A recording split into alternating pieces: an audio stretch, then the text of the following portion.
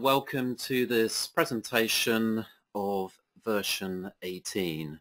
More design, more applications, more productivity. The focus of this webinar is the reinforced concrete design checking, predominantly from LUSAS version 18, but also with a look back to versions 17 and 16. I'm your host today. My name is Philip Ike, Marketing Director from LUSAS, and doing uh, live presentations today is Julian Moses. Hi there. Ably assisting us behind the glass is Paul Bellchamber, our marketing and sales support, and uh, he will be monitoring the chat. Please do ask questions during the event uh, in your webinar uh, dialogue. We'll attempt to answer those on the fly as we go. We have Q&A sessions through the event, and uh, so we'll stop and answer some of the more salient questions during those. And finally, at the end of the event, or rather after the event, we'll have a webinar recording that we will make available to all registrants. So LUSAS version 18 has a host of new facilities in it, but essentially delivers on three main areas. So the first is the reinforced concrete frame design, and that's the main area for this webinar. Um, but it also delivers on enhanced rail capability. So that's adding specifically the optimization of rail load positions on civil structures and also um, advances to our concrete facilities. This is specifically the concrete cracking, crushing, creep and shrinkage capability um, along with hygro thermal mechanical for understanding the early age behavior of concrete systems. Now LUSAS has been uh, known for decades as a highly advanced analytical system allowing you the uh, ability to look at steel, um, nonlinearity, steel yielding, concrete, cracking and crushing, um, soil plasticity and soil structure interaction, um, looking into time history dynamics that incorporates nonlinearity, construction phases with time dependency, flow, be that heat or uh, fluid state flow, and many other things beside, we are a highly capable and advanced analytical system. Where we've changed, particularly in the last few years, is in extending the workflow from analysis into design with uh, comprehensive design checking and critically delivering um, advanced uh, reporting along with that. So it's sectional design that's been um, the major change for us in the last two years. And if we take a look back at version 16, that delivered a totally new um, way of delivering design for steel frames. Along with that, we also improved our reinforced concrete slab and wall design. That forms the latter part of this presentation. Version 17 was largely about post-tensioning, so new tools based around codes of practice for inserting and managing tendons better and looking at creep and time stage management. Version 18, the new release, is essentially about RC frame design. But of course we're not finished there. In version 19 we're extending that to a new composite deck design utility. We already have a EC4 deck designer, but the new utility will operate in a quicker, easier way, um, be uh, valid for more than just the Eurocode, and features behind it a new tool for paramet parameterized bridge modeling. Design for us is about obviously serving as much of the globe as we can. Predominantly we operate um, in Europe, North America, into the Middle East, Southeast Asia and Australasia. But obviously in countries like South America and um, Africa, for instance, many of those codes are also useful in those areas. The RC Frame Designer is an extension to two existing concrete facilities. One is the Steel and Composite Deck Designer. So within that you have the ability to design a reinforced concrete deck integral with uh, underlying steel beams and that's done to the Eurocode. We also have, and we'll be showing later, the RC slab and wall designer, and that's to a multitude of international codes of practice. The RC frame designer can be used on any infrastructure type. Obviously beams and columns in buildings, um, decks and piers within bridges, and both those will be shown in the live presentations today, but it doesn't end there. If you're looking at ground structures, for instance, pile groups, ring beams, props and excavations, anything that's essentially a reinforced concrete member can be designed with this utility.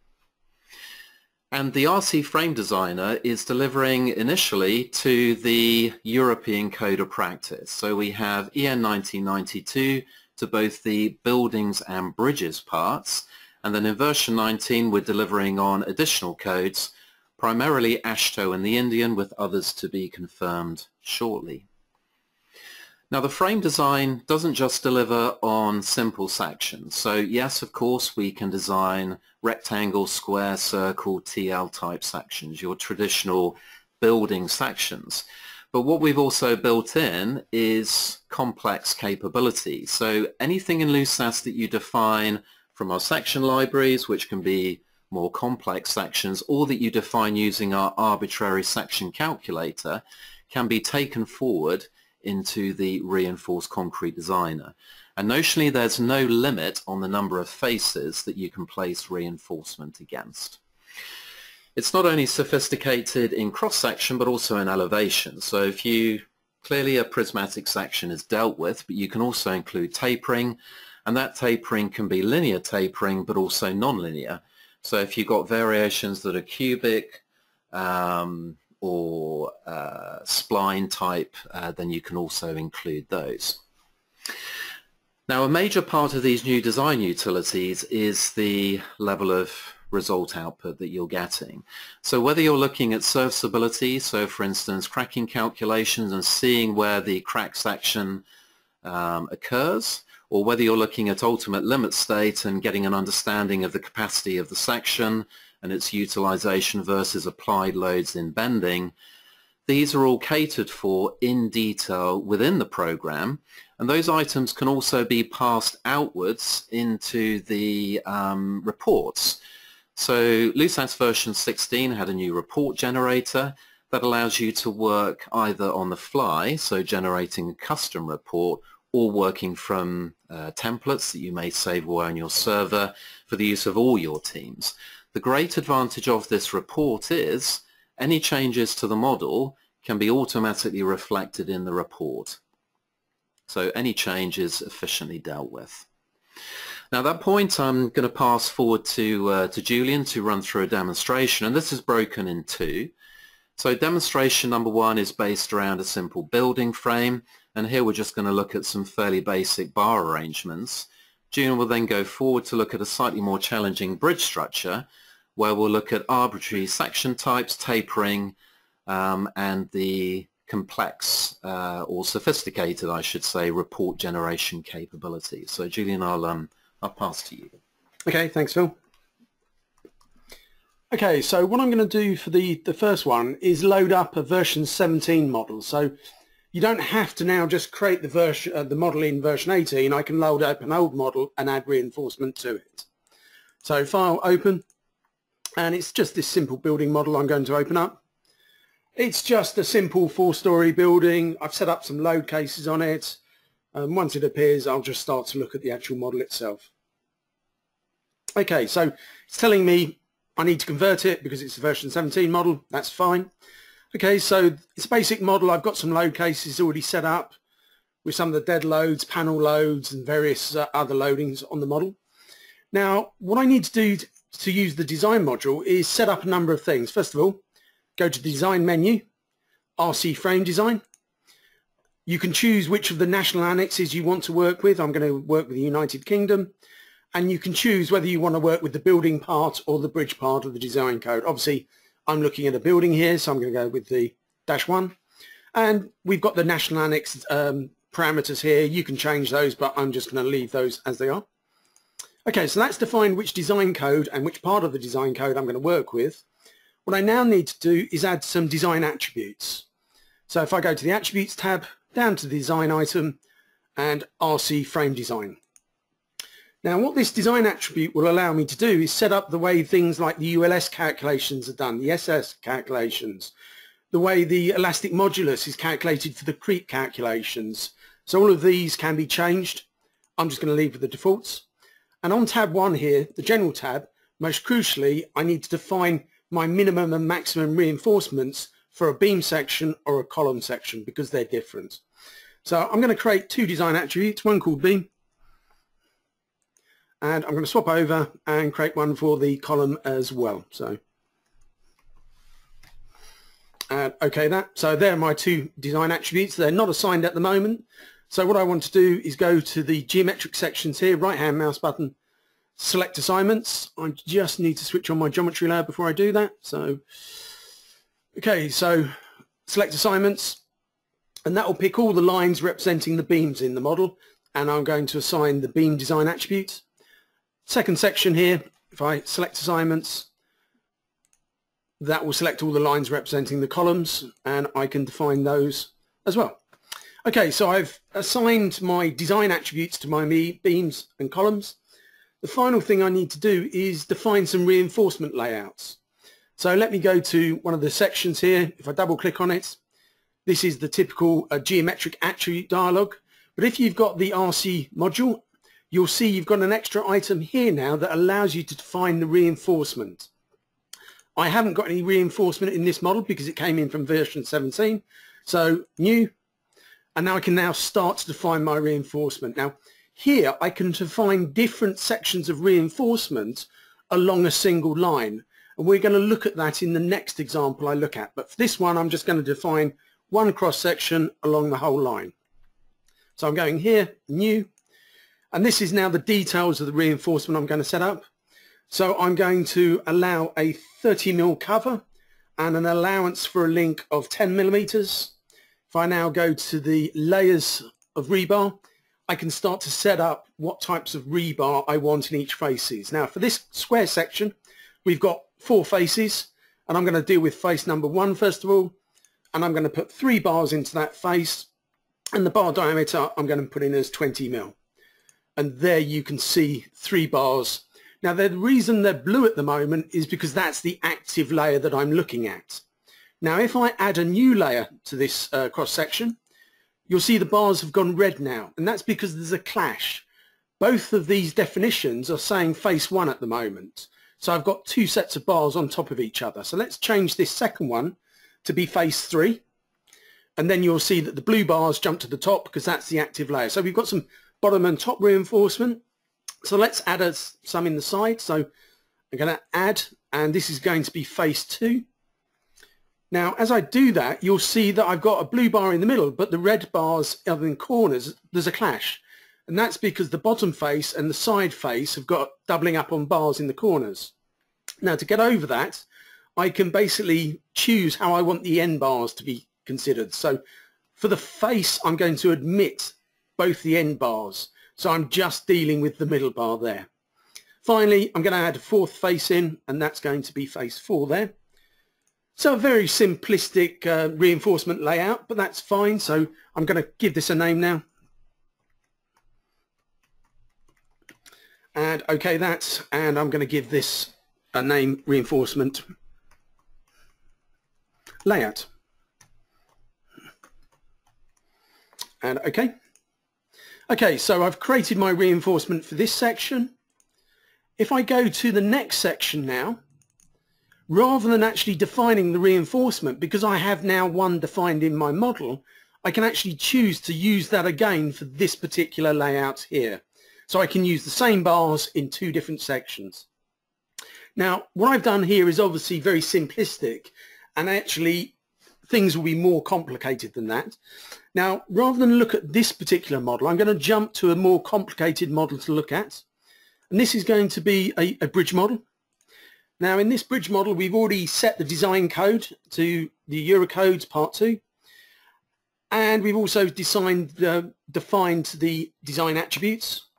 We've also set up the um, engineering properties for the layout, for the reinforcement. So if I look at this arch section here, we've got some reinforcement and if I were to look at this and edit it, you'll see the reinforcement here. Now if I scroll into this, you can see that we've got a more complex reinforcement layout here. So in the bottom face, we've got two layers of reinforcement.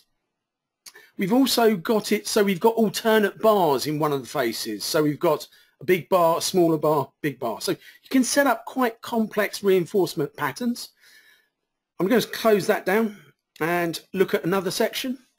Here we've got a tapering section. So part of the arch is tapering from a, a large rectangular section to a small rectangular section. Now because the reinforcement is defined in the faces, it's very easy for us to put the faces in and then it will work with these tapering sections. Finally, I'm going to look at the deck section because this is the most complex section we've got in this model. And again, I'm going to edit the reinforcement. Now here you can see that I've got different sections of reinforcement set up for different portions of the line. So essentially for the first two and a half meters of this deck section, we've got a different reinforcement layout. The ends are the same, but in the middle we've got a different set and that's going to stretch to fit the line that we've got in this section.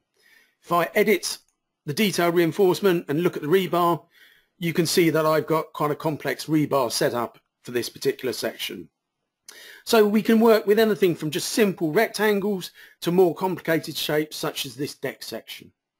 Now what I'm going to do with this model is I'm now going to go on and look at the actual design calculations for this reinforcement. Now to do that I need to set up a design results attribute. So design RC frame design results. Now this is allowing me to choose which part of the model I want to work with. So I'm going to choose all members in this particular case and where you want the calculations to be carried out. So at the moment, if you leave this on nodes, the calculation will be carried out at the ends of the elements. If I change to internal points, it would basically calculate at 11 positions along each element. So much more calculations being done, but you'll then get a finer sort of uh, display of the results. For this particular demonstration, I'm just going to leave it at the nodes. Here, I'm going to set up how my load groups are acting with my model. Now, if I just cancel that for the moment and look at my analysis tab, what you'll see is I've used a combination builder to basically build ULS and SLS combinations, and it's these that I'm now going to associate in that design results attribute of which load groups are associated with the ULS and SLS checks. So if I go back in here, so for the ULS checks, I'm going to select the envelope of the ULS effects, which is that one there. For the SLS characteristic checks, I'm going to select the ULS envelope, which is 46, that one, 46. And for the quasi-permanent, I'm just going to select that load case there. And that's okay. So this is setting up what loads are going to be used against which of the design checks. So, okay that. And I'm ready to start to look at my reinforcement layout. So if I set this as active, down at the bottom here, you'll see a taskbar as the calculations are performed. And once the calculations have been calculated, in this case, you should see some results being displayed at node locations.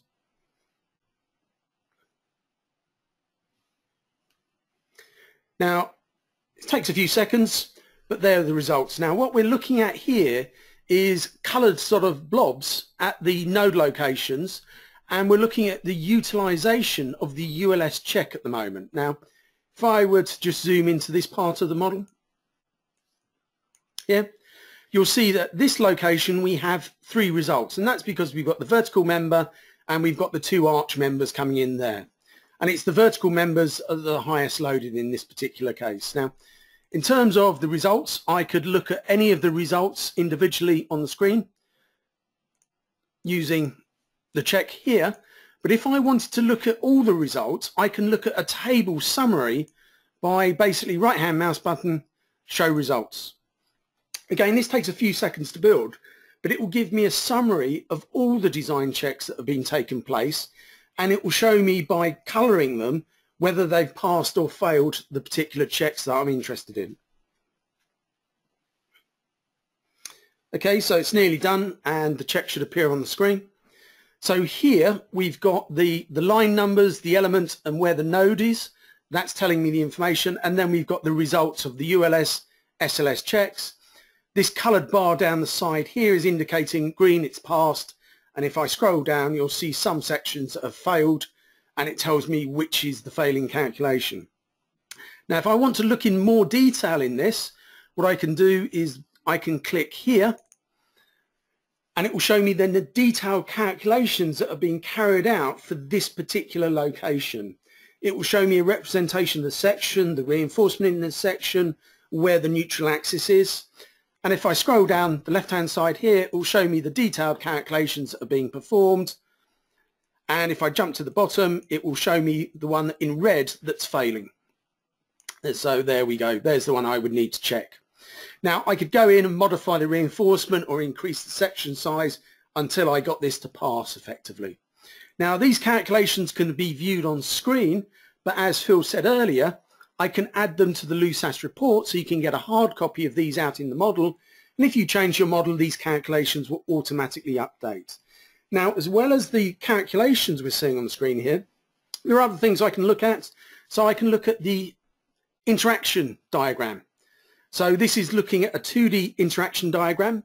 Now, at the moment, what we're looking at is uh, different axial forces and the moment resistance that's being calculated.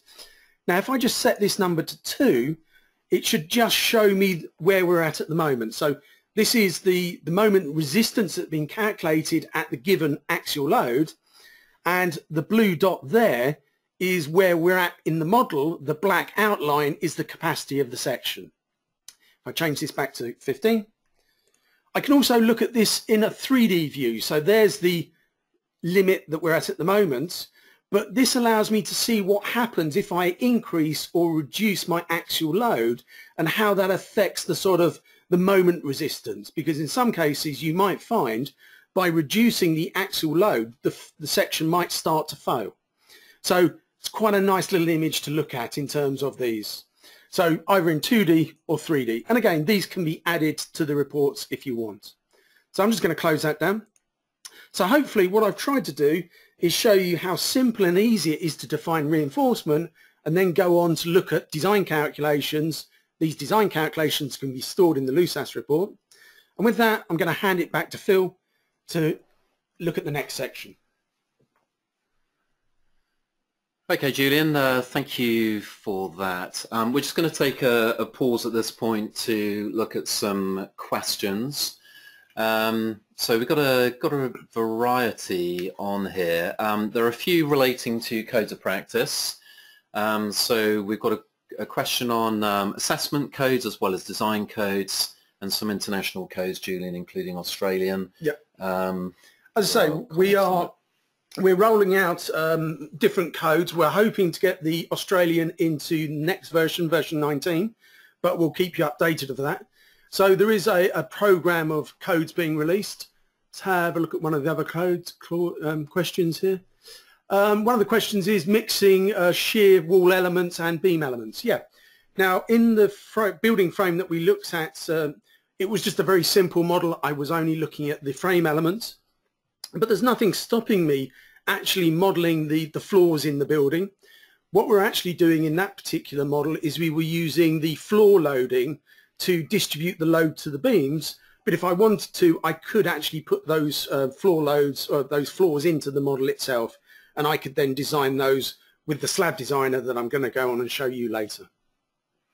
Um, another question there is specific, specifically on floor loads into beams. Mm -hmm. I think the, the model that was shown had UDLs on the boundary beams. Yes. Um, you can also, we have a floor loading generator where you can um, uh, define what shape or what type mm. of um, distribution you want to go onto the boundary beam. Yeah, yeah I, I, I was using that in the UDLs.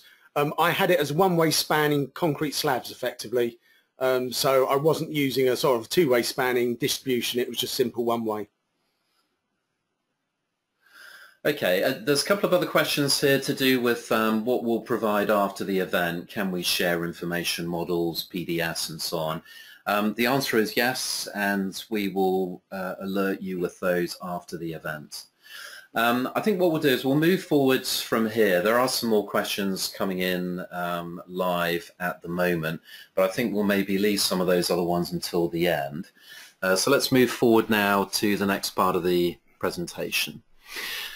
Um, before I do that, I should mention that the RC Frame Designer is, so for those of you that are existing users of LUSAS, if you want this, it's an optional upgrade and you'll need a new key in order to run it. We have a 50% offer running at the moment and that will end end in uh, yeah end of September, 30th September. If you'd like to apply online, go to the LUSAS Releases website. You can find Upgrade Me within there. Um, otherwise, obviously, if you just mail your account manager, uh, they'd be happy to assist you. Uh, furthermore, uh, well, in fact, as I say, we have a few queries um, live about how can we get help, what other information can you share with us. Again, for those of you that are existing users, there is an example in the examples manual. So if you have upgraded to version 18, you'll be able to find the example that's on the screen at the moment. And this is a very explicit example. There's every step of what's being done through the design process. Uh, so it's, um, it's pretty easy to follow and it should give you a comprehensive idea of, of how to use this new utility. So that takes us from um, the frame design. We're now moving into slab and wall designer. So in version 16, we made an upgrade to what is generally described as the slab designer. It's something of a misnomer. Uh, we prefer really to communicate it as the slab and wall designer because it does more than just um, uh, building slabs and, uh, and deck slabs. Now, one of the reasons that uh, it's changed is from version 16, it moved from being um, just a bending only or a Wood-Armer uh, based system to incorporate the Clark-Nielsen calculations. So Clark-Nielsen allows in-plane forces to be looked at. And uh, this gives you quite a large range of options for the type of structures that you can now look at. When you're using it, you make a decision on either assessing an existing arrangement reinforcement, so you would put in your layers top and bottom, uh, define them as bar sizes and spacing, and you can have as many um, different arrangements as you want around your model. Or you can say that you like to work with a certain bar size and have LUSAS tell you what sort of spacing you want to use. Or finally, the third option is you describe the spacing and LUSAS will tell you what bar size you need to use. So you can use it as a sort of designer or as a checker. The products, similarly to the RC frame designer, um, and especially with the upgrade in version 16, it becomes very broadly applicable to various infrastructure types. So whether you're looking at buildings, slabs and walls, as we've mentioned, bridges uh, with their decks, wing walls, abutments, or any other civil structure that is, I suppose you would say, a shell type structure, um, you can do the reinforcing calculation using this designer. So that's helpful in tunnels, retaining walls, and containment. And in fact, it's containment that we're going to be looking at with the, uh, the live presentation. It's also available to a variety of codes of practice and in fact a broad set of codes as well from North America through Europe into Asia and Australasia. And with each release we work very hard on our codes of practice so you'll see these changing um, and it's worth checking with each release that you get if you are using one of these design utilities what the updates to the codes of practice are. So I'm going to pass um, back to Julian and um, we'll look at the design of a reinforced concrete tank. Okay, so for this example, I'm, I'm just going to start from fresh. I'm, I'm going to build a, complete model and look at reinforcement. So I'm just going to start by creating a three-dimensional model. And this is going to be a simple circular tank. It's going to be not post-tensioned, so um, it's going to be tightness class zero, so I can get away with using the uh, section one of the Eurocodes effectively. Okay, so I'm going to start by putting some just geometry lines in. So I'm going to start with 0, 0, but minus 6 in the Z direction. And this is going to go 5 meters in the X direction. Now the reason I'm putting this as minus 6 in the Z direction is I'm going to create a water pressure variation with depth. So it will increase with the depth of the model. Okay, so there's my line. I'm going to select the end of this point line here, and I'm going to sweep it in the X direction by 10 meters, and also in the Z direction by 3 meters. So it creates this kink line. I'm going to take the end of this line, and I'm going to sweep that in the Z direction by 3 meters. And there's the sort of section that I'm going to use. Now, this is a circular tank, so what I'm going to do is take all of those lines and I'm going to sweep it by a rotation about the z-axis. So sweep by rotation of 90 degrees. And what that will do is create a quarter of the tank model for me. I can then take this whole section and I can copy by a rotation of 90 degrees three times and that will create the whole tank for me. So very simple geometry to create. So now let's have a look at the engineering properties. So mesh, surface, I'm going to work with thick shells here. I'm going to work with quadratic elements. So I just call this thick shell. And I'm going to put an element size of one meter. So if I pick everything and drag this on, I will then get some mesh occurring. Now, for the walls, I've got a very regular mesh.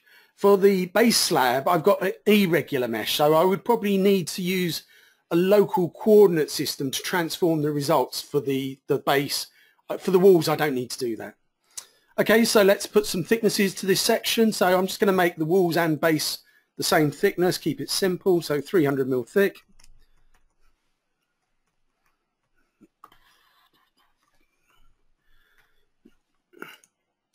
So when I drop on the thickness, I will get a visualization of the thickness being shown to me. So there you can see how thick it is. I'm just going to switch that off, go back to the wire diagram.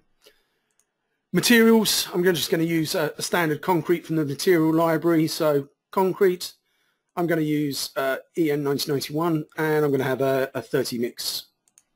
And okay, again, I'm going to assign that to everything. Now for the support, I'm going to just support the base of the tank and I'm going to use of very simplistic soil springs for this. So support, so I'm going to use spring stiffness and I'm going to put a spring stiffness of 10E3 and I'm going to put that in three directions and I'm going to do that stiffness per unit area and I'm just going to call this soil. Okay, the easiest way of picking the base is if I click in the X box down at the bottom here, I can look side onto it so I can just grab the base and drag those soil supports on. Okay, so there's my sort of spring supports representing the soil. I'm just going to switch those off. And finally, I need to put some loading on this. So if I go to the uh, Analysis tab, I'm going to right-hand mouse button on load case 1, switch on gravity. I'm also, while I'm here, just going to rename this just a dead load, DL. So that's my dead load. Now, as I said, I want to put on some water loading on this, but I want the water loading to increase with the sort of depth as we go through this. Now to do that, I'm going to create a variation. Now that variation in this case is going to be a field variation. Now field variations vary things in the global X, Y and Z direction. Now the variation that I'm going to use here is very simple. It's just a linear variation. I'm going to have minus Z times 1, 1 being the bulk density of the water effectively in this case. And I'm just going to call this water pressure. Now I'm going to assign this to a, a local distributed load. So attributes loading. And I'm going to use a local distributed load. And that's going to be per unit area. And all this is going to be is minus 9.81 and times the variation that I've just created. Now to get to the variation, I click in this down arrow here and it will allow me to select the variation that I've just created. So that's the intensity of my load. And I'm just going to call this water load. And I'm basically going to pick everything and drag that water load on there. And I'm going to put it into a load case called water. Now, what you should see when the loading arrows appear is that we get loading arrows on the model, but there are no loading arrows at the very top of the tank here. And that's because if you evaluate that variation, that variation is zero at this level. Every meter I go down into the tank, the variation will increase by one effectively. So at the bottom, I have six times the load that I have at the top effectively. So simple water variations. Now, in this particular model, I'm just doing something very simplistic, two load cases. So I could go on and use my combination builder to build a combination, but I'm just going to do this manually. It's very simple. So smart combination, I'm going to include my two load cases, put some factors on them, so 1.1, 1.5, and I'm just going to call this combination ULS. And I can now run it and look at the results. So if I run this,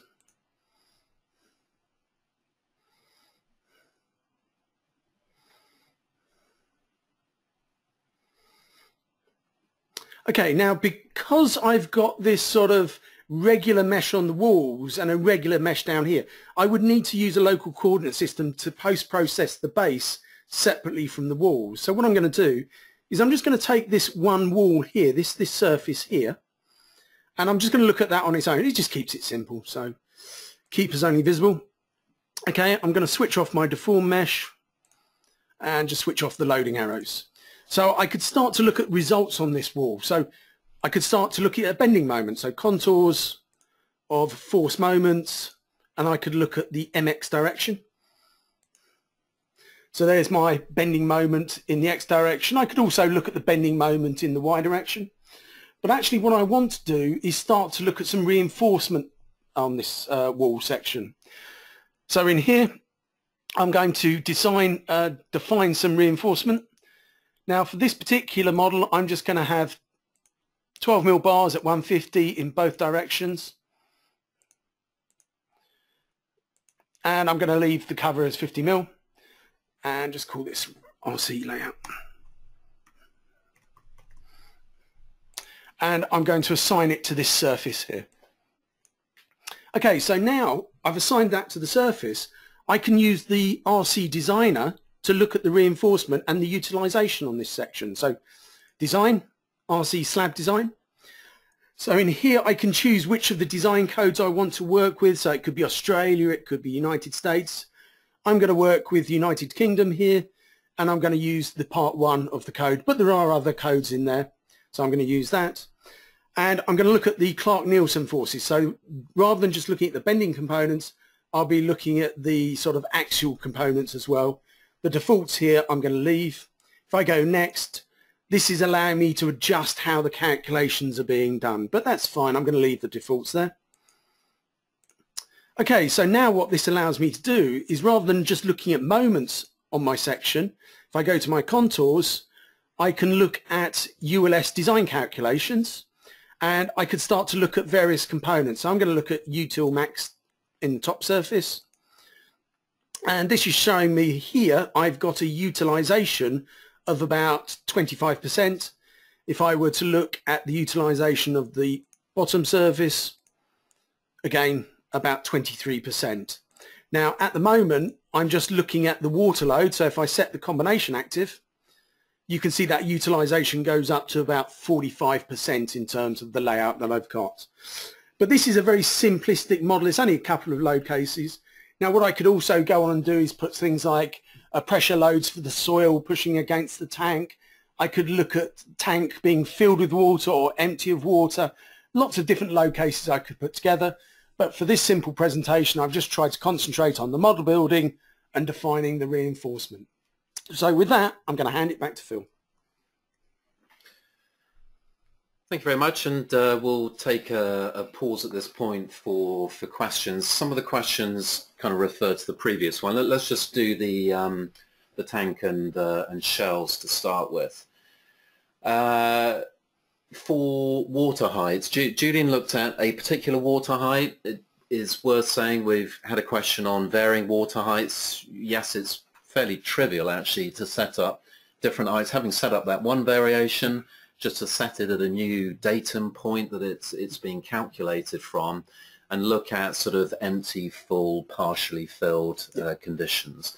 The tank that was shown obviously was um, was a fairly minor height, so it's uh, uh, I think those sort of intermediate positions would have been of less interest. Um, Julian did. We've had a question on soil loads onto the walls. Ju Julian actually did just mention um, that he could look have looked specifically at setting up the soil um, as loads onto the wall. That is possible. Um, but June, there are also other ways maybe of dealing with soil. You could go anywhere from using a soil joint element that would have sort of active passive pressure on it to even embedding the tank in a, in, in a continuum where the continuum represents the real behaviour of the soil. It just depends what level you want to go to with the soil structure interaction.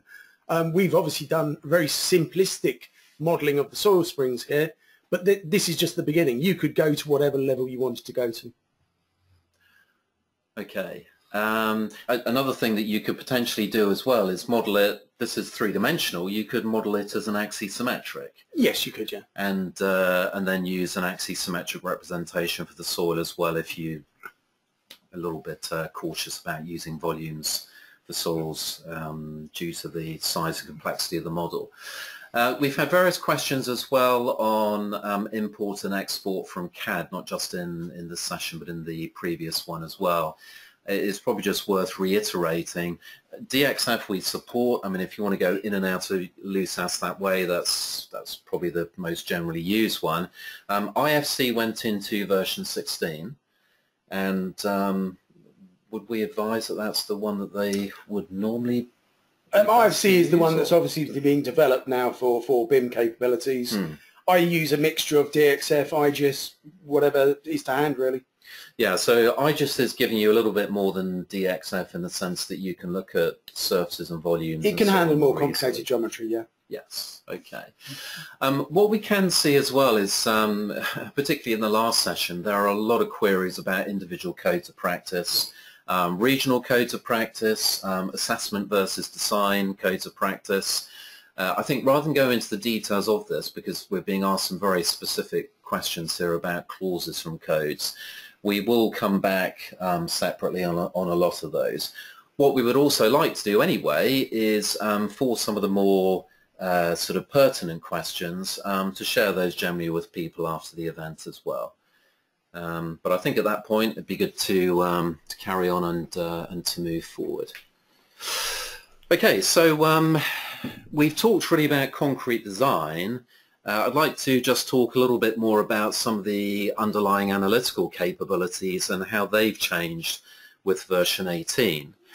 Um, so one side of that is how we deal with the nonlinear and um, time dependency uh, of concrete. So the first side is cracking and crushing behavior has been available in LUSAS for some time. Um, it's been updated in version 18. Uh, we can certainly assist users in, in using it. You can take your parameters from testing. There are various guidances inside codes of practice for how you um, set up your material properties. Once you set those up, you can then run an analysis and get a, uh, a true assessment, if you will, of cracks around uh, the model. So if you're using volumetrics, you'll see cracks appearing all the way um, through the volume. Um, you can also use cracks in shells, um, so they apply to a variety of, of element types. Um, in terms of that crack width calculation, so we have that based on the sort of pure um, micromechanical science. Uh, we also have it um, according to EN 1992. So that's the Eurocode calculation for cracking around reinforcing bars is now also um, within the LUSAS interface. Big change with um, version 18 is, is creep and shrinkage, an extension to codes of practice that are supported, but I think the the sort of critical side to this is now creep and shrinkage is properly um, available in combination with the cracking and crushing model. So a nice advance there for those that want to move to more advanced concrete behavior. And I'd say looking at some of the questions we have here, and we have a lot on reinforced concrete assessment, obviously it's an assessment that you'll tend to um, move into more pure analytical methods because you want to understand why a structure cracked or, or deflected in the way that it did um, on site. We also have a new utility for um, early age behavior in concrete. So we call this hygrothermal mechanical. Um, it's a very long name. for a product which essentially gives you the ability to model the curing process of concrete. Um, this is largely automated now in terms of the material properties and the loadings that you put into uh, the interface. And it will give you as results temperature profiles, stress and strain profiles, and particularly obviously on the base of the strain, uh, an indication of the cracking that occurs around the concrete sections. So then it's to the engineer obviously to decide, well, how do we deal with the um, cracking issues or, or, other curing issues during construction? Do we limit pore size? Um, do we look at extra reinforcement? Do we try and duct heat out of the system? All of those are available as utilities within uh, LUSAS and it's a rather nice addition, particularly obviously for constructors and, and contractors. If you want to learn, um, again, more about the advanced material capability uh, in version 18, then the hygrothermal is one of those um, additions. So we have a new example sitting within the examples manual.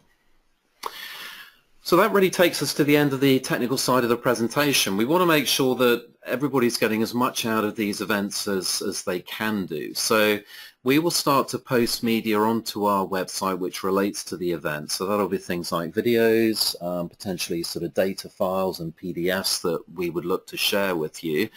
And these will also go up through our other channels. So we have Facebook, YouTube and uh, LinkedIn predominantly as our social media platforms. But if you would like um, other assistance, obviously do not forget our technical support team, highly rated and, and much valued by our customers around the world. And um, we've had something of a change to the team, so a few fresh new faces um, that you can see on the screen there. And they will help you not only um, as part of your lease um, arrange, uh, uh, arrangement um, with us for LUSAS, but if you want to be specifically trained, you can come to us. Uh, we run scheduled courses in this office. We can also come to you, uh, so we can do bespoke offices to content that relates to your requirements. So please get in contact with us if you want to know more. So that's it really. Um, leaves me to say thank you and goodbye. So that's goodbye from me. Uh, thank you. Nice to meet and Paul will say goodbye from behind the glass. Thank you very much for your time in this event and we look forward to seeing you on the next one at some point in the near future. Thank you and goodbye.